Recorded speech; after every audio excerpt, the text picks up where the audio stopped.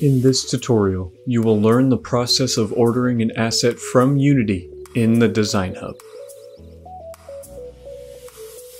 On the Unity website, select the box tab next to the search icon and select the tab Asset Store. From here, search any asset you would like to have for your project.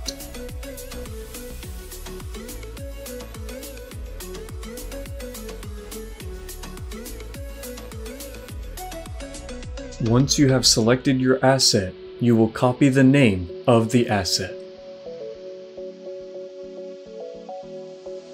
The asset name will be sent to a specific intern who is authorized to make licensed downloads of assets.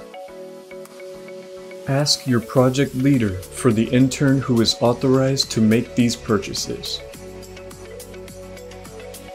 Once authorization for the asset is confirmed, you will receive a link to access the asset.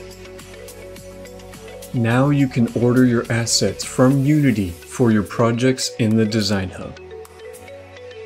We look forward to seeing your work in the future. Thank you for watching.